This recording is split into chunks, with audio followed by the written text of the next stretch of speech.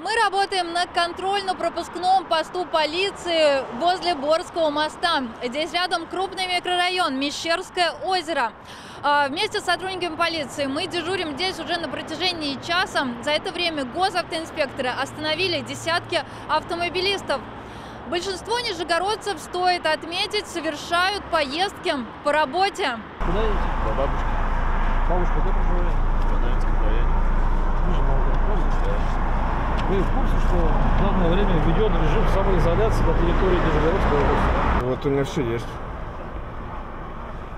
Ага, вы даже, значит, уже пользовались. Да, да. Ну, ну и как оцениваете? Ну, только сегодня первый день скачал. Вот, Будем пользоваться. Все, и маска, все с собой. Ясно. Все с собой. Руки моем. Все, все как положено. Спирт, салфетки. Все с собой. Конечно, нужно обязательно соблюдать режим самоизоляции, находиться дома. Но если вам разрешено двигаться на, на транспорте, э, находиться на улице, то тогда нужно обязательно соблюдать правила дорожного движения. Статистика, к сожалению, показывает о том, что, э, несмотря на то, что количество ДТП практически в два раза снизилось, вот количество пьяных осталось на прежнем уровне, даже иногда увеличилось в некоторые моменты.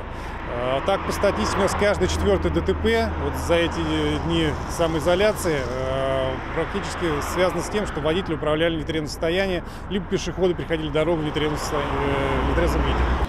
Сотрудники полиции и госавтоинспекции не могут оштрафовать за нарушение режима самоизоляции. Они могут лишь предупредить. Чтобы избежать штрафов, нижегородцы должны оформлять свои выходы из дома официально. Для этого есть портал «Карта жителей Нижегородской области».